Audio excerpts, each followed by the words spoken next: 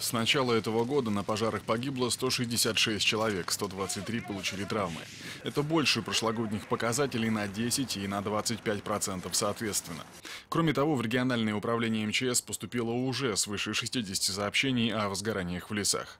Принято решение о введении особого противопожарного режима в ряде территорий региона.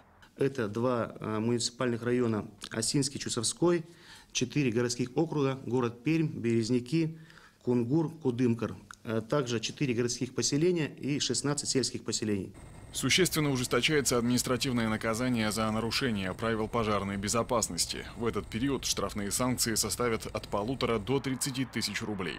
Касается это и поклонников пикников в городских лесах, например, в Черняевском. Вот там, где как раз вводится особый режим противопожарный, э, од- одним из комплексов мероприятий э, предусмотрено патрулирование сотрудниками ОВД лесных массивов с целью пресечения э, разведения костров.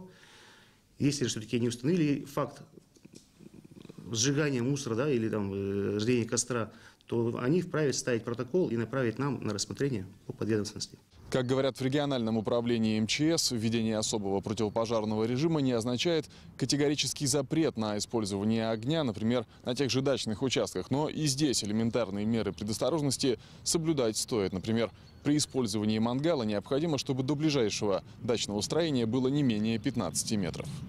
При посещении лесных массивов граждане могут быть оштрафованы не только за разведение костров, но и за сжигание либо свалку мусора.